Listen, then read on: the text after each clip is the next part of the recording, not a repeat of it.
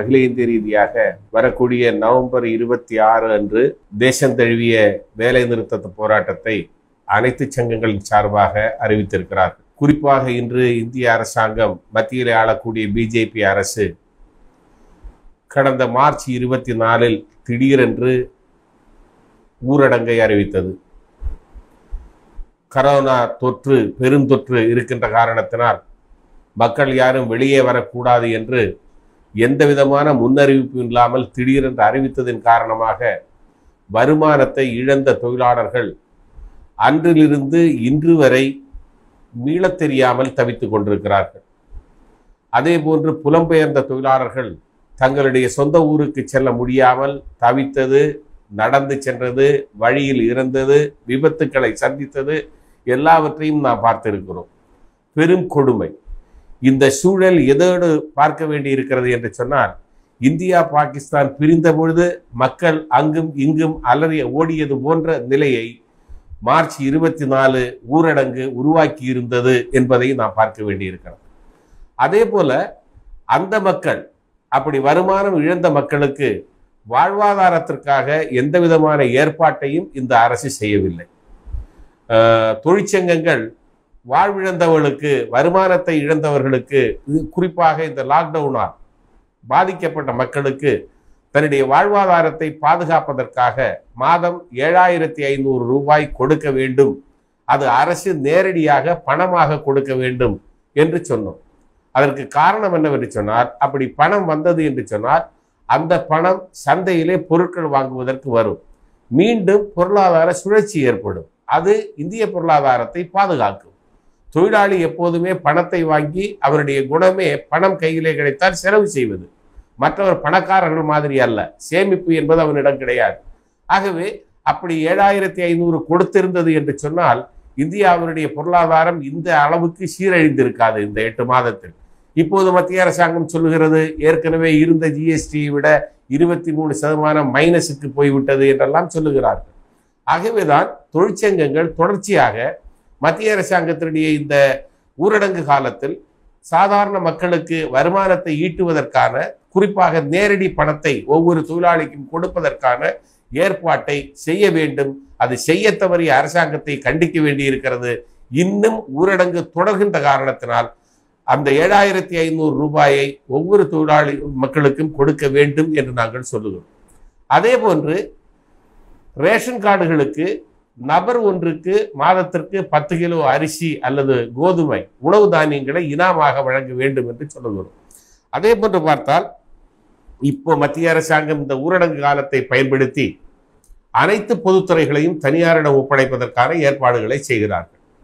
குறிப்பாக core industries என்று சொல்லக்கூடிய தொழிற்சாலைகள் மின்சாரம் ஸ்டீல் நிலக்கரி போன்ற நிறுவனங்களையும் ஃபினான்சியல் இண்டஸ்ட்ரீஸ் என்று சொல்லக்கூடிய எல்ஐசி வங்கி போன்ற நிறுவனங்களையும் அநேகமாக எல்லா பொதுத்துறைகளையும் வேக வேகமாக தனியாரிடம் ஒப்படைப்பதற்கான ஒரு ஏற்பாட்டை செய்கிறது.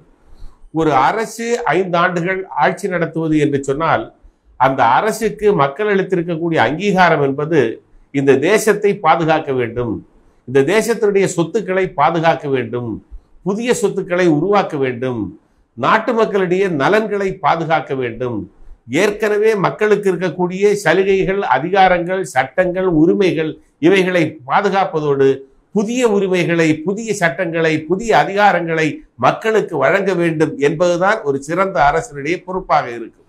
ஆனால் இந்த அரசு ஐந்தாண்டு காலம் ஆட்சி நடத்துவதற்கு மக்கள் அங்கீகாரம் கொடுத்த பிறகு அங்கீகாரம் கொடுத்த மக்களுக்கு எதிராக நடவடிக்கைகளில் இறங்குகிறார்கள்.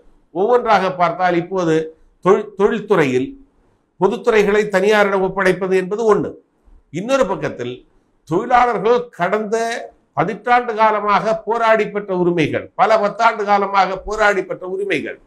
இன்னும் சொல்ல போனால் பிரிட்டிஷ் ஏகாதிபத்தியம் கோலோச்சின காலத்தில் இந்தியாவில் தொழிற்சங்க சட்டம் வந்தது. ஆயிரத்தி தொள்ளாயிரத்தி இருபத்தி மூணுலேயே தொழிற்சங்க சட்டத்தை கொண்டு வந்தோம். அப்படி பிரிட்டிஷ்காரன் காலத்திலேயே உருவாக்கப்பட்ட சட்டம் மிகப்பெரிய போராட்டத்தின் விளைவாக உருவாக்கப்பட்ட சட்டம் என்று தொடர்ந்து வந்திருக்கக்கூடிய சட்டங்கள் அனைத்தையும் இப்போது மத்திய அரசாங்கம் அது முதலாளிகளுக்கு சாதகமாக திருத்துவது ஏற்கனவே இருந்த நாற்பத்தி நாலு சட்டங்களையும் நான்கு தொகுப்புகளாக மாற்றுவது அதுவும் ஜனநாயக படுகொலையாக.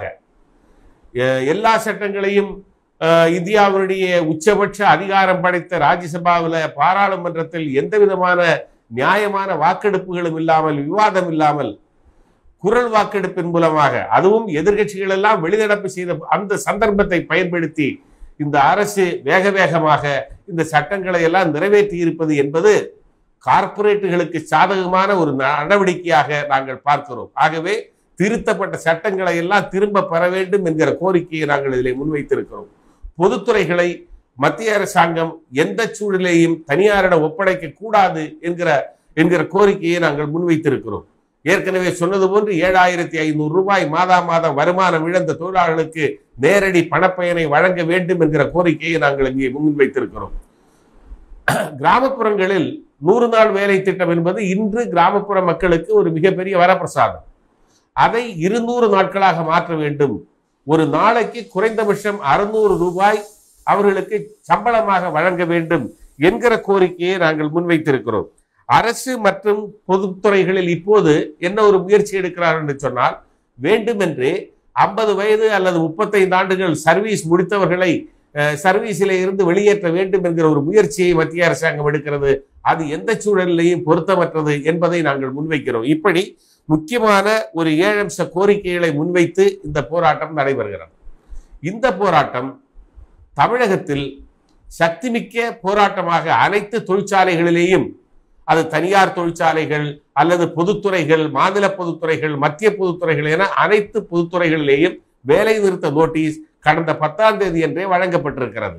ஆகவே தமிழகத்தில் எல்லா இடத்திலேயும் அது தனியார் நிறுவனமாக இருந்தாலும் சரி தொழில் நிறுவனமாக இருந்தாலும் சரி அல்லது பாரம்பரிய தொழிலாக இருந்தாலும் சரி எல்லா தொழிற்சாலைகளும் இருபத்தி ஆறாம் தேதி வேலை நிறுத்தம் என்பது நூறு சதமானம் வெற்றி பெறுவதற்கான வாய்ப்புகள் இருக்கிறது. அன்றைய தினம் எல்லா இடங்களிலேயும் மறியல் என்பது நாம் அறிவித்திருக்கிறோம். மறியல் போராட்டத்தில் லட்சக்கணக்கானோர் பங்கு பெறுவதற்கான ஏற்பாடுகள் செய்யப்பட்டிருக்கிறது. தமிழகத்தில் அநேகமாக ஒரு ஆயிரத்துக்கும் மேற்பட்ட மையங்களில் மறியல் நடப்பதற்கான வாய்ப்புகள் அந்த தயாரிப்புகளை மாவட்டங்கள் செய்து கொண்டிருக்கிறது. எல்லா தொழிற்சா தொழிற்சாலைகளிலேயும் முன்னாலேயும் ஆர்ப்பாட்டங்கள் மற்றவைகள் கடந்த இருபதாம் தேதி என்று நடந்து முடிந்திருக்கிறது.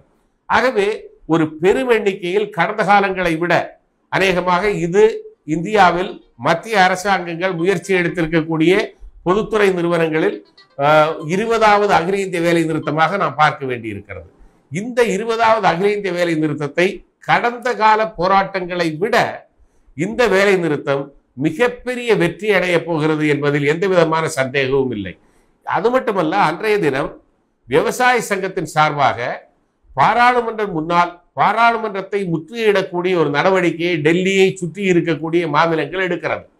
தமிழகத்தில் அன்றைய தினம் இருபத்தி ஆறாம் தேதி விவசாய சங்கங்கள் ஒன்றிணைந்து அவர்களும் இந்த போராட்டத்திற்கு ஆதரவாக மறியல் போரில் பங்கு பெறுகிறார்கள். தமிழகத்திலே இருக்கக்கூடிய வாலிபர் சங்கங்கள் மாணவர் சங்கங்கள் மாதர் சங்கங்கள் என அனைத்து சங்கங்களும் இந்த போராட்டத்திற்கு ஆதரவு தெரிவித்திருக்கிறது. அரசியல் கட்சிகள் என்று பார்த்தால் அநேகமாக பிஜேபி நீங்களாக அனைத்து கட்சிகளும் இந்த போராட்டத்திற்கு ஆதரவு தெரிவித்திருக்கிறது. ஆகவே இது ஒரு மிகப்பெரிய சக்திமிக்க போராட்டமாக தமிழகத்தில் பரிணமிக்க வாய்ப்பு இருக்கிறது என்பதை தெரிவித்துக் கொள்கிறோம்.